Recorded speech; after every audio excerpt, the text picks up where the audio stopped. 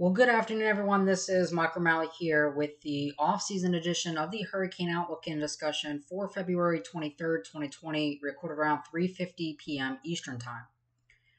Jumping into things today, this is the sea surface temperature anomaly map last updated as of yesterday, February 22nd.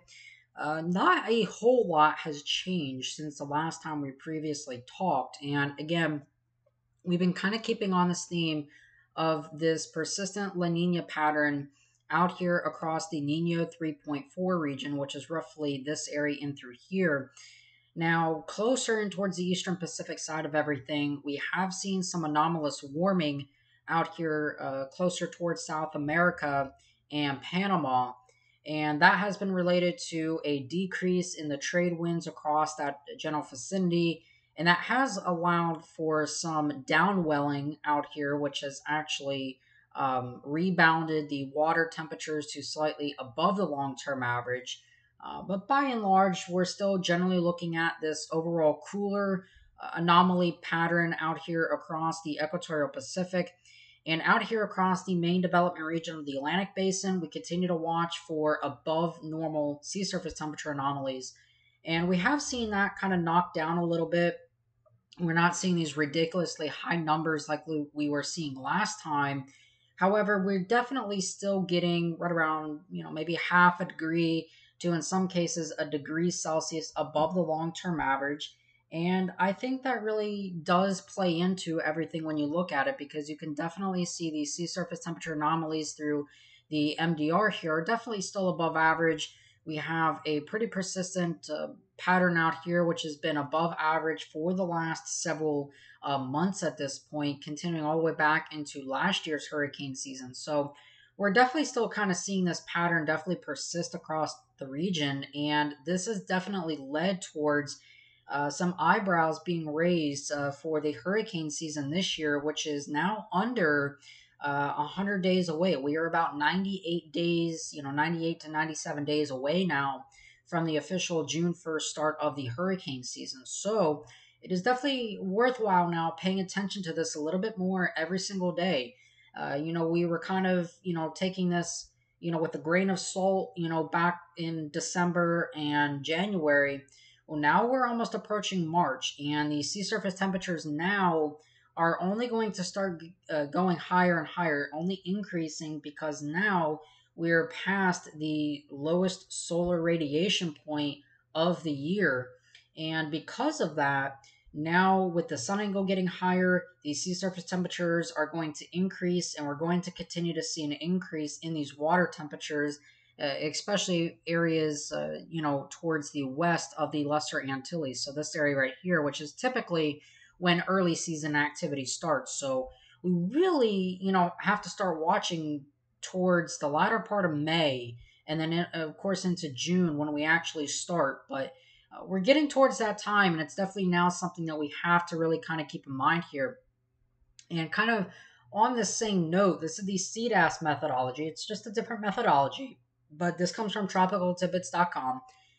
And this is basically a plot of the sea surface temperature anomalies out in the Nino 3.4 region, which again is roughly correlated to this area right in through here is the Nino 3.4. And we continue to see that we've been in a pretty persistent La Nina pattern all across from back to December of 2020 all the way now through uh, the almost the end of February and beginning into March that we will be in this very persistent La Nina threshold. Now, today's contributing factor is negative 0.653, uh, so that's definitely uh, still it's kind of right there. It's a very weak La Nina at this time. You can actually see we were below uh, 1.0 here, getting close down towards one and a half degrees below average. We have rebounded a little bit. Uh, you can kind of see a general trend that has been up over the past several uh, months here, but by and large, it's not been one of this drastic kind of swings where you kind of start to see uh, this very exponential growth that uh, skyrockets, and we've not really seen that. And that is definitely a telling sign because of the fact that the atmosphere takes a while to respond towards El Nino and La Nina conditions. So even if we head towards maybe, let's just say, an El Nino by August, that will not be enough to override a busy hurricane season, and, it likely will not. And we likely won't even get there.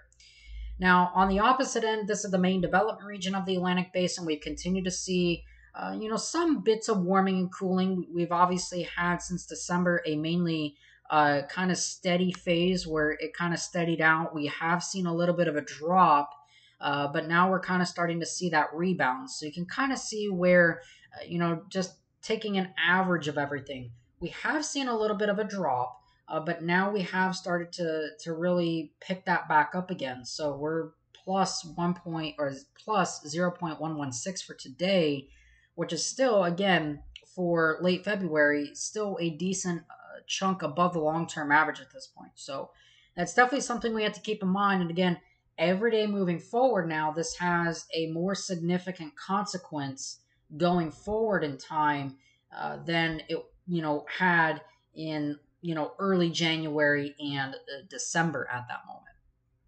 Now, if we actually look here at the actual sea surface temperatures, these are not anomalies, but these are actual sea surface temperatures at the very top uh, tops of the water here. And uh, this is uh, coming off the NOAA, NOAA NESDIS site for yesterday, February 22nd. And we noticed that we had this very big cool shot out here across Texas and Louisiana. Uh, that brought extreme cold, a crippling ice storm and snowstorm to the region. And uh, absolutely, my heart goes out to those people that were affected. A, definitely a very devastating event. The power grid, that whole situation. Uh, as a consequence of that, we have knocked those shelf waters way down uh, to almost about 50 degrees at this point in time. And because of that, again, you can see some of these sea surface temperatures here about t- uh, 12 degrees Celsius or so. Uh, but if you go even further, again, we can kind of see that what we have here in the uh, central part of the Gulf Basin is a very large, expansive pool of about 26 degrees Celsius water uh, that extends all the way to near Miami in that area. And because of that, again, this has implications on early season hurricane activity uh, but also for a spring severe weather season. Again, that is right on the doorstep of uh, occurring is our spring severe weather season for the Great Plains, uh, even Florida, the southeastern United States, Dixie Alley, those areas.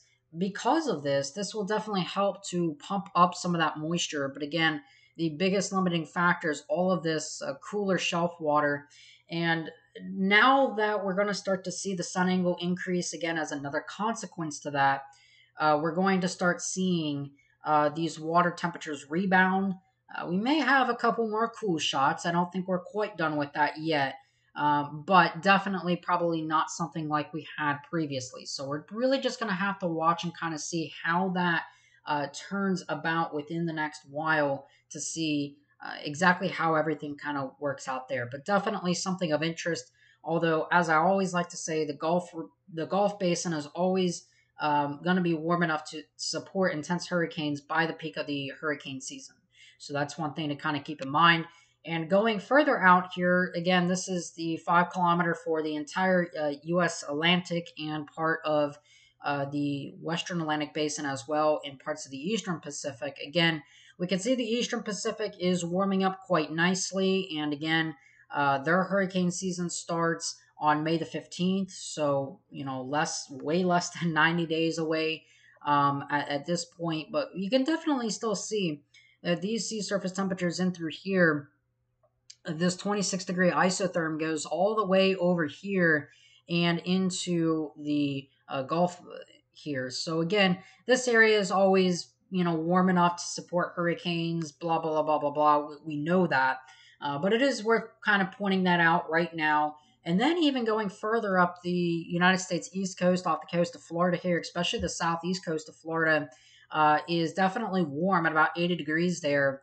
And then you can kind of see where the western wall of the Gulf Shore is indeed right there with 60, about 65 to 70 degree water temperatures. So the area is starting to warm up quite nicely. We're now entering again uh, that uh, you know critical almost 90 days away, And uh, in these 90 days, we're going to have a lot that's going to have to play out here. And certainly something that we're going to have to watch going forward is how these sea surface temperatures evolve.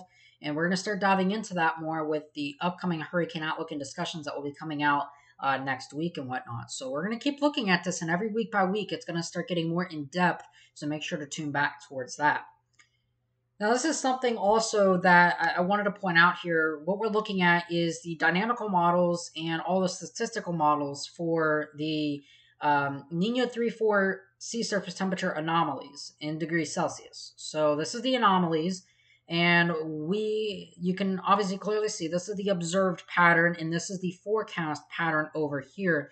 This comes from the International Research Institute and the Climate Prediction Center. But what we can see here is that again we've been in a fairly decent La Nina pattern for the last while. Uh, this is January right now, so we we're just kind of past that. We're now entering into almost March, and again you can kind of see where we have some divergence here. Now, one thing of, of significant note here is again look at all the models that by the peak of the hurricane season, which is really August, September, October, right here. These are kind of the bigger months in the hurricane season. Okay. These months are all represented by generally a cool neutral phase uh, to maybe a warm uh, kind of neutral or flat out neutral phase. So, what this is telling me is the probability of having an El Nino is very, very low for the peak of the hurricane season.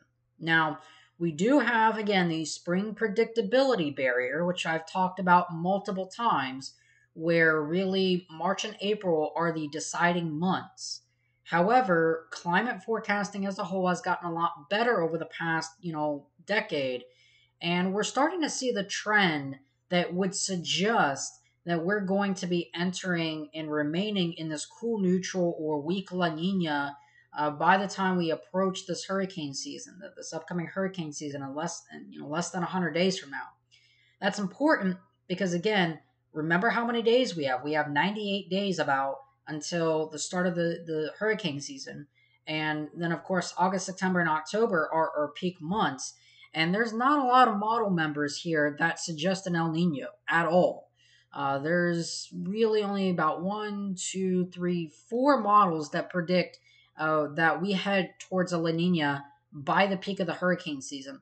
Everything else is basically uh, at the zero zero line, so kind of the you know neutral phase or slightly cool neutral. That's where most of the members are by August, September, and October.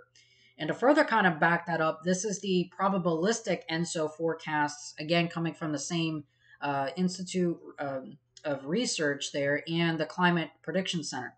Uh, and again, you can see where January, February, March, 100% chance we're in a La Nina.